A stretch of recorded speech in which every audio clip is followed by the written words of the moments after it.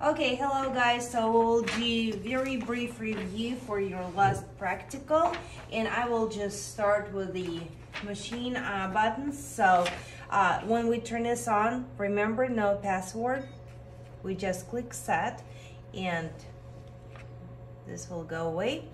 Now to change, switch between probes, you hit exam button and you don't need specific exam types you just click on the probe you like to use. Okay and we will get curvilinear probe turned right now. Most of the objectives you can uh, find with this curvilinear probe just because this will give you better resolution but for bigger patients in the hospital, when you practice, you may switch to this probe because penetration on this probe is better.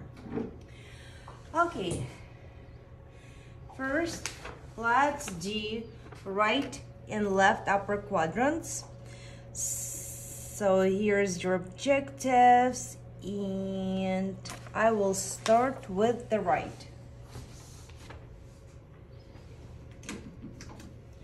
Do not go easy on gel and matte uh, now we just need the spot here.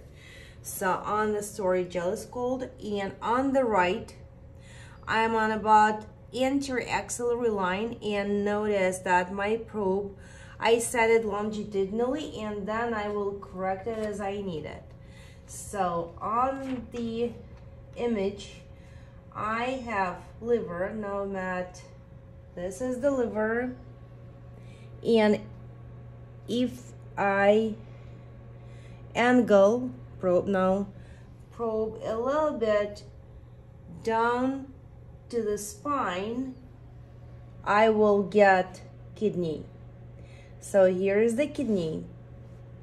Now I will freeze and will show the image here we have our objectives as liver, kidney, hepatorenal recess, and another objective is the right pleural space.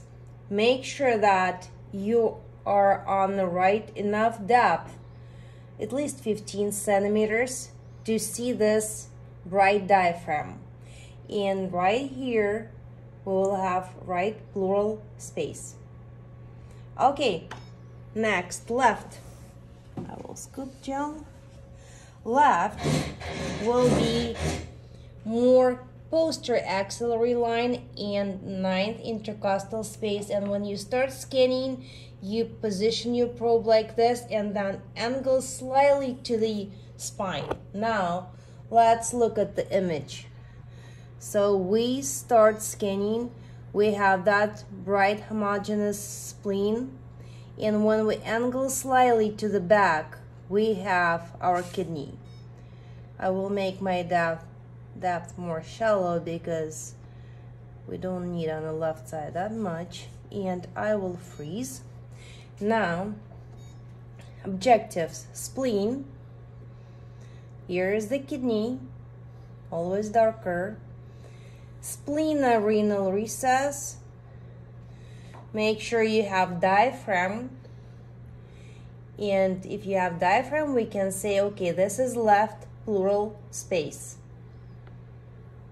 Okay, done with left. Uh, let's go to pelvis now. Make sure that you come to the practical with at least a little bit new bladder. And remember, we're scanning very low towards the feet. Let me, okay, now I'm right here. Use washcloths. And now, Matt, we need a picture.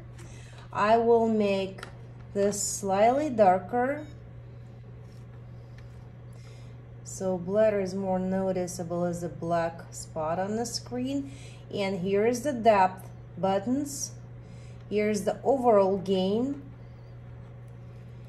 and after overall gain you can correct your gain if you like with the within the fields but here I have urinary bladder not very full hope yours will be better because here you will see on the males prostate and important things are retrovesicular spaces which are right here. Make sure you can explain in words wh where is the retrovesicular space. So if you have male partner we will ask you retrovesicular space. If you have female partner we'll ask you pouch of Douglas or same as a cul-de-sac and for example for female if it is a uterus pouch of Douglas is right here okay Next, let's let me check pelvis, prostate, uterus, pouch of Douglas, retrovesicular, urinary bladder. So we covered all of this. Let's do the lung. Right now, lung we can use the same probe or basically any other probes on the card. Okay, for a lung, my advice to use right anterior chest obviously in clinic for patients you will do your scan all over the lung surface where you need it just for teaching learning purposes we use this simple spot and again it is longitudinal position of the probe. Now on the screen we have since we positioned the probe longitudinally we have intercostal space right here so between two rib shadows we have this space which we will scan. I will make it more shallow we need to identify chest wall here's the chest wall here's the pleura this is lung parenchyma. And this is B mode life image, B mode image. And comet tails, comet tails, you will see if you look at the pleurae, both parietal and visceral, visceral, you will see comet tails sliding down. But better comet tails you can find with this probe but if you're using whatever probe on the card, you can just explain what are the comet tails and where they are. With M mode, we need to hit M, position it through the pleura and parenchyma, hit M again, and we will get our M mode graphical image. So if here we had chest wall, chest wall will be above the pleura, pleura, pleura, lung parenchyma, lung parenchyma. So if we ask you show us M mode, you will do this picture and show chest wall, pleura, lung parenchyma, and on a normal person it is a seashore sign. And remember with pneumothorax that's why we do this um, during the trauma fast for fast exam, it is a barcode sign. Next,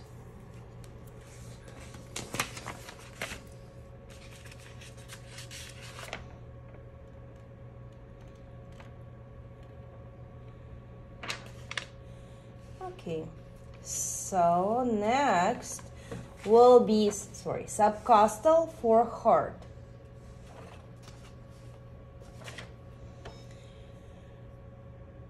B, mo a B button will bring you back to your B mode image. Okay, subcostal,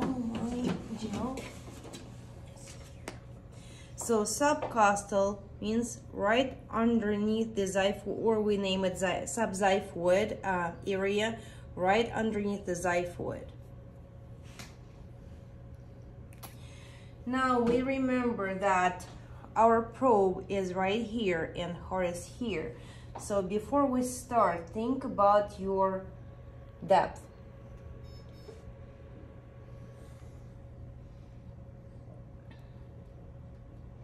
If you have normal BMI patient, this probe will work for subcostal view. It does not matter which way is your probe marker because as you scan and send your ultrasound waves to the heart, not like this, but this, and slightly push, I will go deeper increase gain a little bit. We can ask patient to take a deep breath in. Let's try. And this may increase your image. Okay and I will freeze breathe. We have objectives as the pericardium which is that bright line around the heart. Here are the chambers of the heart. And we need right atrium right ventricle and we need to identify right ventricle, right atrium, and we know that if this is the liver, this will be the right heart. So don't think too much about the probe marker. You know where where's your liver on the picture. And this is the right ventricle. This is the right atrium. Next, I want you to review how to get IVC.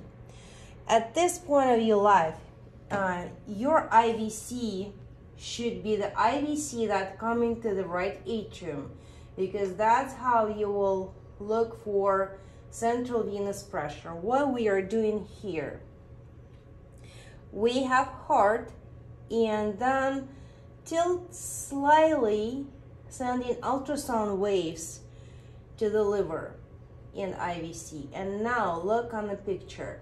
We have heart right atrium, I start tilting my probe, make it more perpendicular to the skin, and I get this IVC entering the right atrium.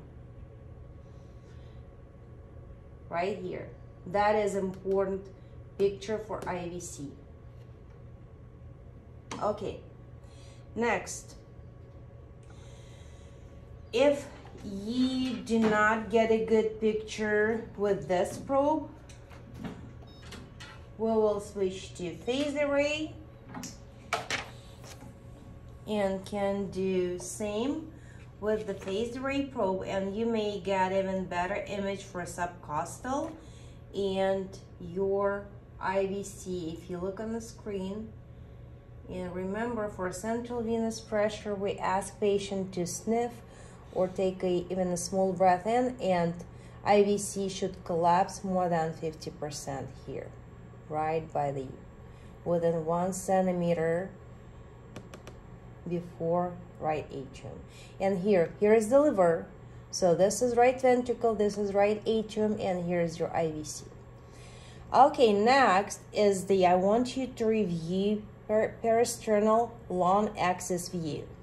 For this, we need to be, you're good right now, uh, on the left sternal border, anywhere from here to here. Just find your good window.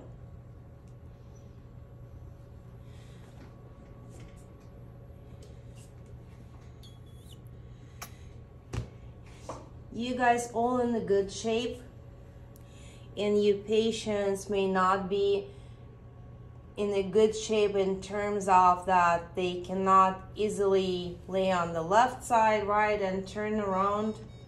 So you can try doing the parasternal long axis view in supine position